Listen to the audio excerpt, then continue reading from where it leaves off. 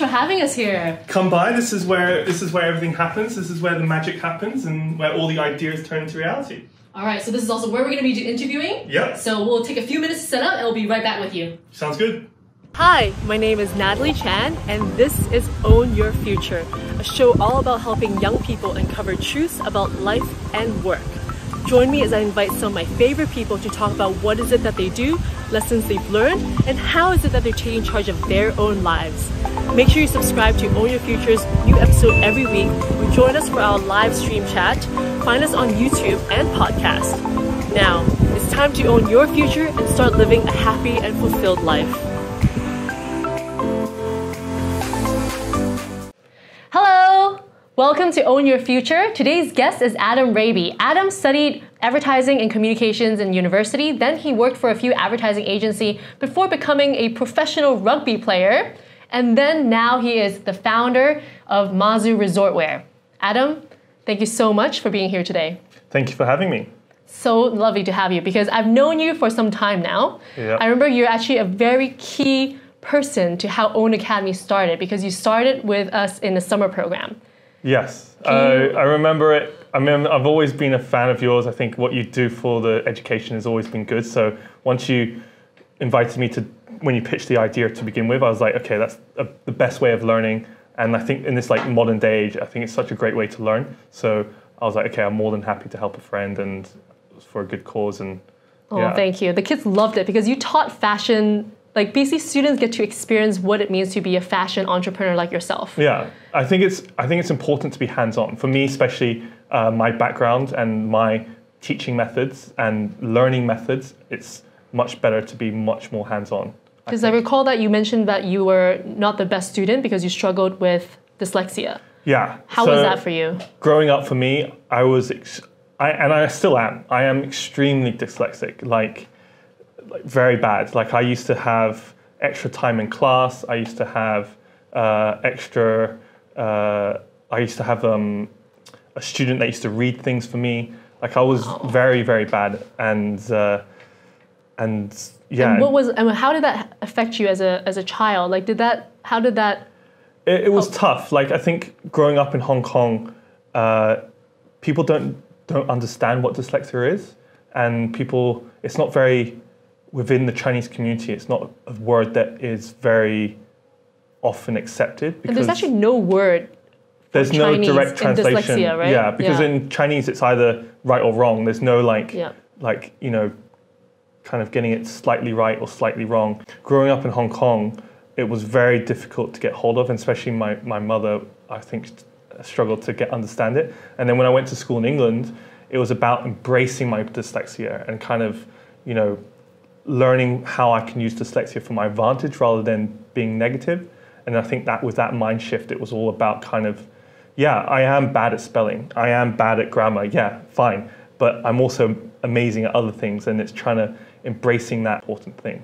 And so how did you turn dyslexia into your superpower when you said that you embraced it? So what did you do with it? So, for example, like nowadays, you got such great technology for uh, like dictation. I was trying to write an email saying illustration, and I don't know off the top of my head to spell illustration. Like, if you asked me now, I probably wouldn't do it. But uh, if you know, with the with modern technology, you can just you know say into your phone or like into your computer illustration, and it types it up, and then that's a lot easier. Also about just trying to learn how to not let it be a hindrance. Yeah. You know. One thing that I love about your story, I mean, and part of the reason why I invited you to be part of the teacher for our Yeah. first program is because I'm so inspired by your journey. Because Yeah. not only were you, you know, you had a challenge in, in school, but you also went and pursued advertising and communication, which actually requires you to have a lot of word ability, all the way to then becoming a professional rugby player and then now starting your own company. Yeah. So walk me through how did you decide that advertising communications was what you wanted to Well. I think I knew quite early on that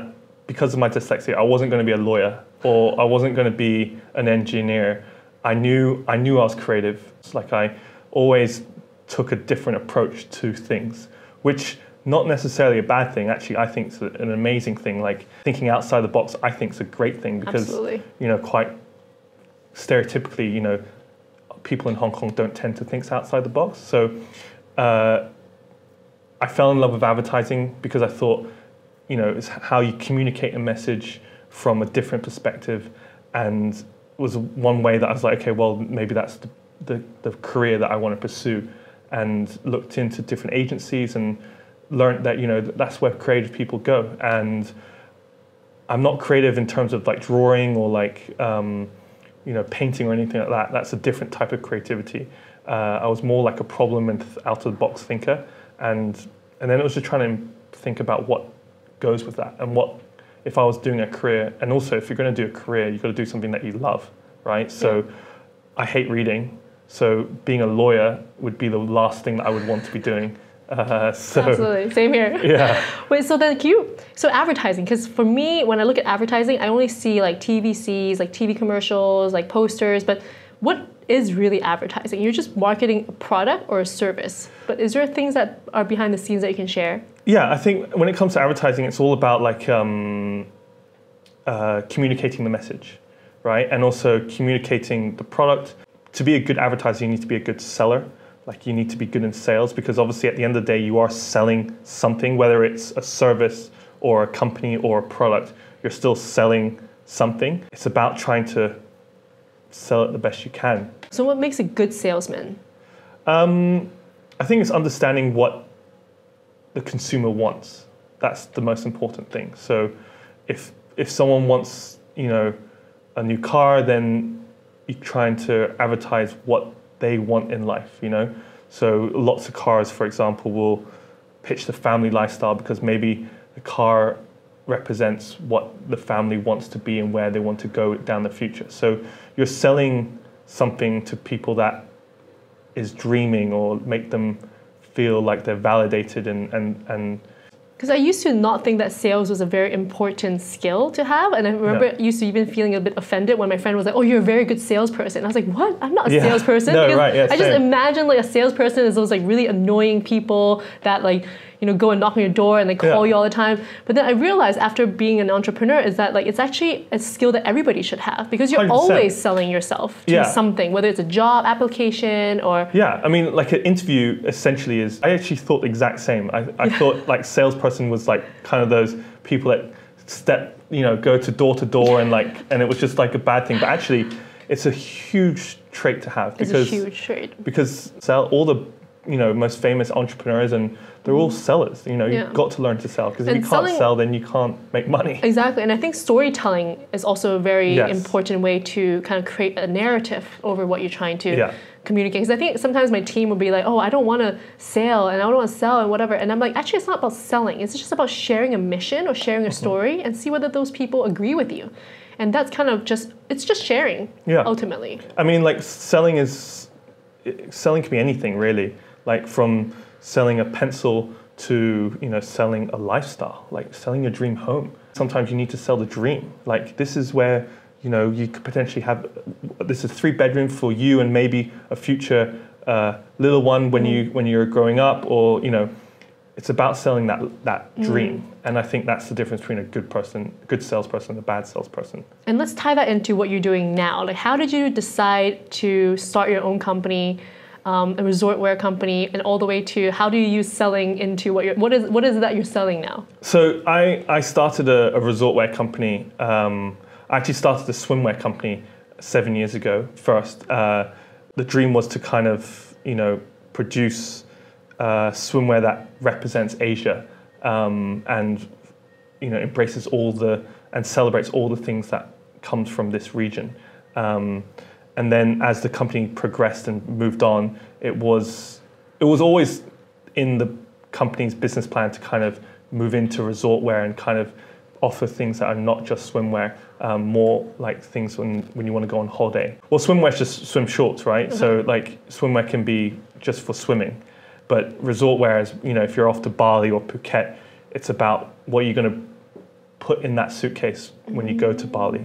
Eventually, to be kind of that go-to person to uh, if you're going on holiday. Especially in Hong Kong's pace of life is so hectic that people are always looking for that that relaxed Escape. yeah that Yeah. escape. So you're kind of selling that lifestyle Yes. to So that's what I'm selling is that you know it's that escape, that sense of you know dreaming about going on holiday, you know, and that idea is, you know, you want to relax with like a, you want to sit on beach chairs and have a mai tai and and uh, just catch a tan and and unwind and and refuel and come back to this busy lifestyle, Mm-hmm. like either in Bangkok, Singapore, you know, KL, all these big, Yep. bu- busy city places.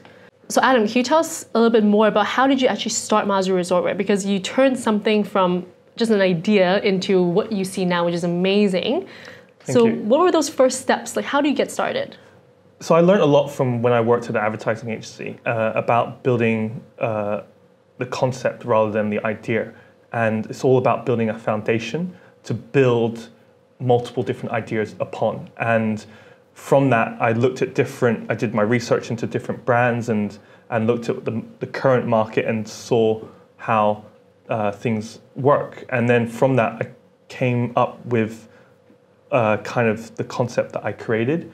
And because of that concept, I'm able to branch off and create multiple different ideas based upon that. So, Can you share that in the context of Mazu? Like yeah, so basically from that, I, like I said, I, um, uh, I did lots of different research and found different things to, to create. And then uh, I came across an idea uh, about maritime history. And the word Mazu comes from the goddess of the sea. And my father wrote a book about temples. Um, and it was from that the concept was built. Um, and I knew before I even did anything about swimwear, it was about building that foundation. So I had to build the backstory. And there were brands that I was very inspired by and looked at like Twinings Tea. Uh, Twinings Tea was only like a five, at the time was like a 10 year old company, but they felt like they were almost 40 years old. And then from that, I was able to create some swim shorts that uh, I was a big, f- I thought it was the easiest um, garment to manufacture that didn't take uh, that much knowledge in terms of manufacturing because I'm very, I'm, not- I'm, my background's not manufacturing. Right. So, because I didn't want to just do a T-shirt because a T-shirt's a very complicated, um, and also it's been done by Right. many different things. Yeah. So, if I was going to launch a brand, it was about doing something different um, and different that is completely different that's on the market But now. do you have design background? Like how do you know how to design something? Because you mean you're in a fashion industry. I, I, I, funny enough, don't. So it literally learn everything as I go. So Wow. uh, learning by your mistakes and just hope that you don't mess up too much. Uh, and to this day, I'm still learning. And I think I actually saw Warren Buffett's book, and he says that he's still learning. So from there, I created Mazu Resort Wear, and I basically came up with different ideas based upon this foundation that I created. And then it took me about two years to sample and find the right factory, find the right fabric. And I love how Um, you mentioned about like Hong Kong has a lot of these trade fairs, right? And I think Yeah. that's something that we forget that Hong Kong is actually such a kind of a melting pot for all these like trade shows, exhibitions Yeah. in the convention center. That there's so much learning from these industry specific um, events. That there is one for manufacturing, there's one for wine, there's one for fashion, there's everything. one for there's everything. Yeah. And I think one thing that I always want to bring students to is actually these events because you see the latest of these technology, the latest of these Yeah. type of the, the Hong Kong's the best place when it comes to trade because obviously it's the gateway to China and it is the central hub of Asia from a manufacturing point of view. So all the big trade shows are done in Hong Kong. I went my first trade show. I spent maybe four, five days just going back and forth, looking, talking, feeling, touching, and getting building your ideas. And I knew what I kind of was looking for. Um, and and then it was just trying to find the find the people that can help you execute it um, and that that was the main Wow. thing And what would you say is your biggest learning from this journey of being in entrepreneurship? And what do you wish you had known beforehand going into this? i wish i knew more about i wish i knew more about business weirdly enough uh, i wish i knew more about um, design uh, I think my strongest point is that I'm a good salesperson, uh, and I may have the worst product in the world or the best product in the world, but a good salesperson can sell, Anything? you know, I, th- I think I got a great product to be honest. Yeah, like I, I it's think beautiful. the product sells itself, but Yeah. obviously it's very important to sell a good product. And when you say you want to know more, wish you had known more about business, what aspect of business would have helped you?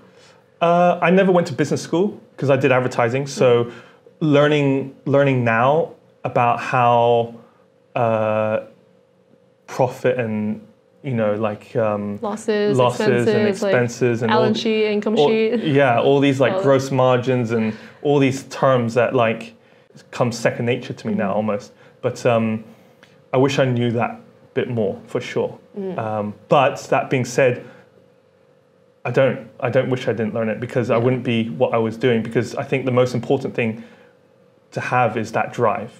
So you can fail, you can start from scratch easily nowadays.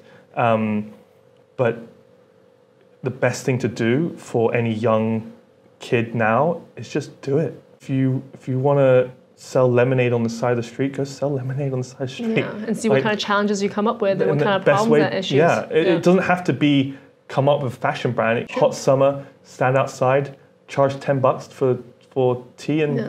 you've got a business. Like start developing your business acumen, right? Because yeah, I think so that's much so much in that more process. important. Like if I was to have a kid one day, I, I would do the same. Like you know, the value of earning a dollar kind of thing. So true. the most important attribute is to have that go-getting attitude. Mm. Uh, like I said, it's it's about getting it done. Mm. You know, like just go out and do it. If you if you're sitting at home now and and and watching this video, almost you kind of like you want to just go do it. Like Just go do it. like just nothing's stopping you. You know. Just go do it. yeah. yeah. Exactly.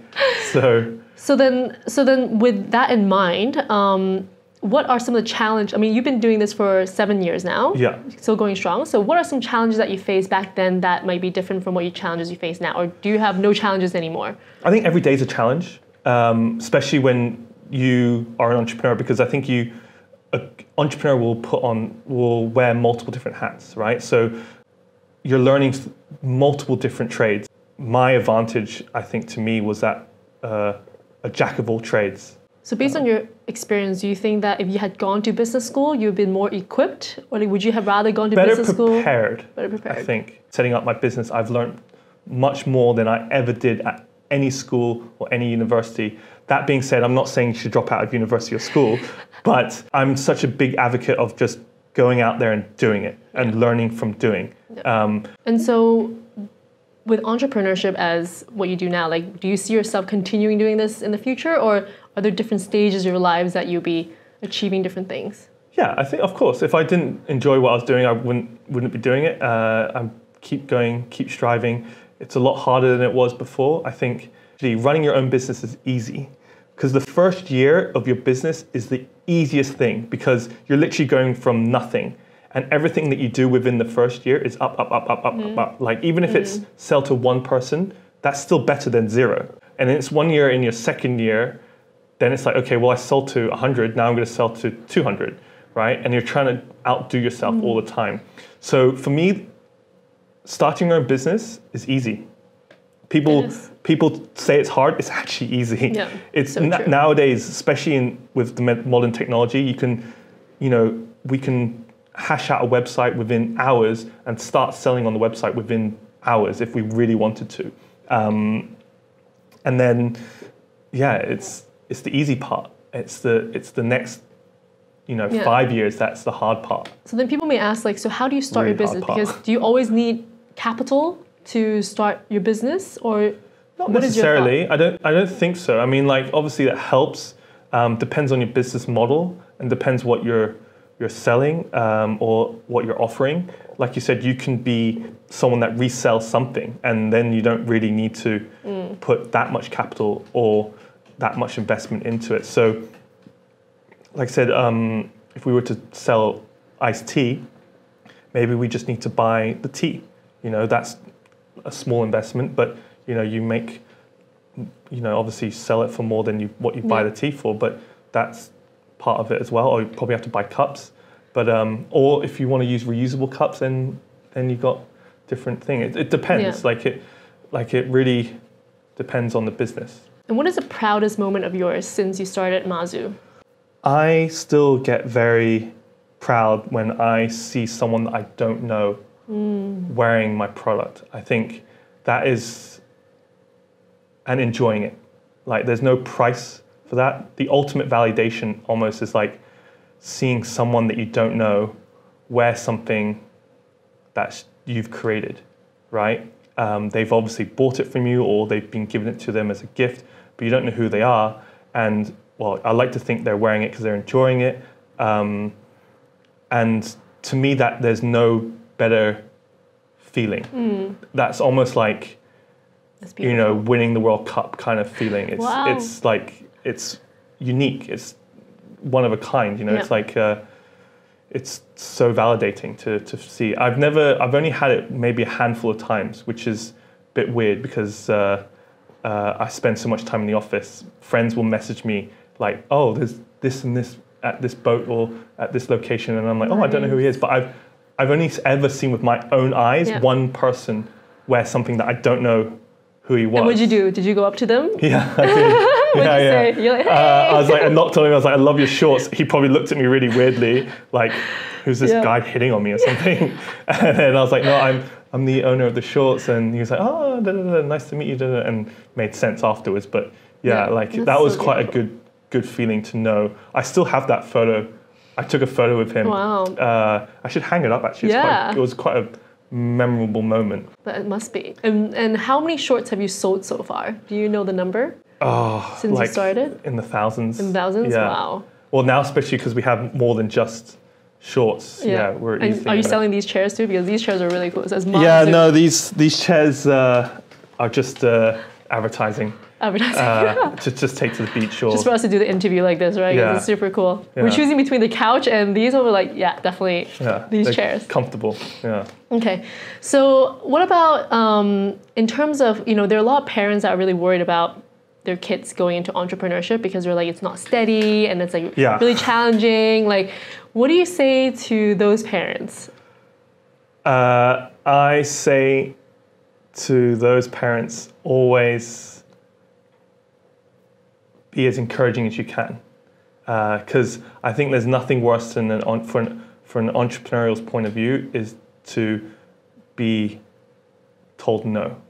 Uh, it depends on your attitude, because if someone tells me no, that just that drives me on to do better Yeah, um, but or like I want to prove them wrong kind Yeah. of thing. Um, it's difficult. I mean, like I said, it,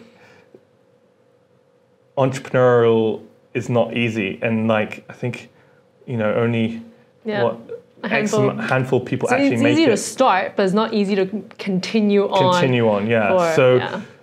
it's challenging, and I, I don't recommend it for anyone. You have to be mentally yeah, prepared. Uh, and I guess from a parent's point of view, you just have to be supporting as much as you can. Um, and thankfully, you know, I have very supporting parents, and um, yeah, it's yeah, it's tough. Um, but like, I made it on my own. I, I didn't really have that much help. All the sales that I did, all the connections I made were through my own network. Um, old school in the way that like, call on the phone. Hi, Four Seasons. Yeah, okay.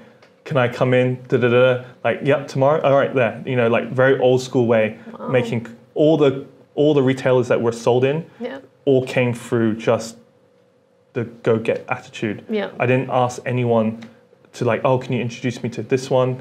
Mind you, Lane Crawford was an introduction from someone, but Sometimes you need those kind of Sometimes, introductions. yeah. But you got to find those people that know those Yeah. finishes. So you really have to be so resourceful. Yeah. And I love the fact that you talked about the old school style way because I think sometimes students may not be very comfortable even talking on the phone anymore. But actually, Yeah. that's the best way of communicating. That's the best way of getting a message across because we still appreciate hundred percent. And that the best, human touch. and and it's a lot harder for me because there are some resorts that were sold in that I've never been to, uh, like you know the Maldives. the Maldives is the one place I've never been to. It's like my dream place to go to. I've always seen so many amazing photos, and we're sold in like eight different resorts in the Maldives, and I've never been and never seen people. But nowadays, even like you can FaceTime people, but do not underestimate the power of meeting face to face because Yep. you know you're a lot more memorable Yep. from a sales point of view Yep.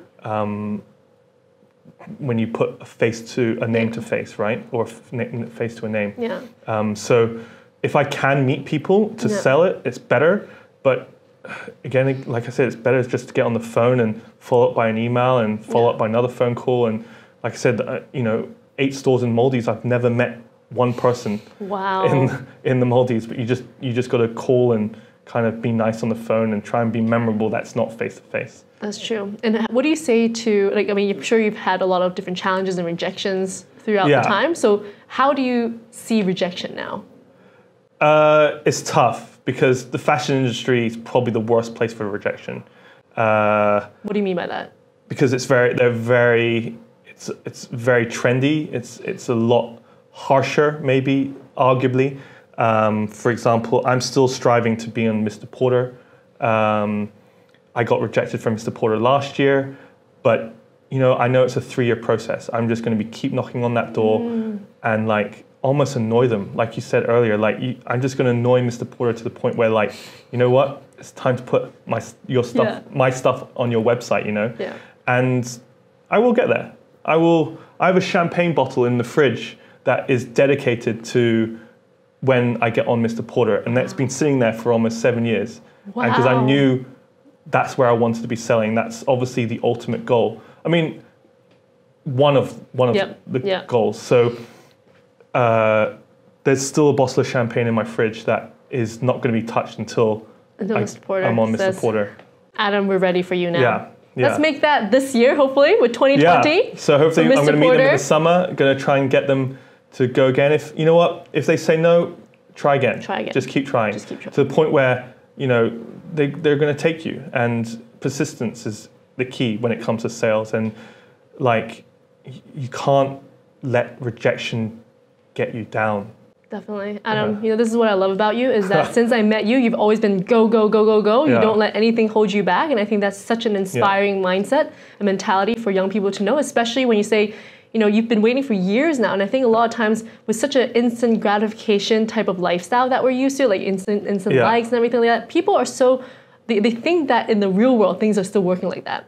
But actually in the real world things take so much longer Hundred percent. to get anything especially done. when it's fashion because factories need time to produce things need time to turn around whereas technology especially with apps and things like that it's so much quicker and so much more spontaneous and things are quicker in turnaround but fashion is as long as they have fast fashion but fast fashion still takes four five five weeks you know um, but uh, yeah it just take, it takes time fashion takes time for sure so patience really. Patience, um, patience, and persistence. persistence. Yeah, is- and mentally got to be because trust me when I tell you, I've had mental breakdowns. I've I've thought to myself many a time, why the am I doing this? You know, and you. I've had those moments too. Yeah, we all all entrepreneur people have Yeah. had those moments. If you haven't had those moments, you're Yeah, not an something's not entrepreneur. right. Yeah.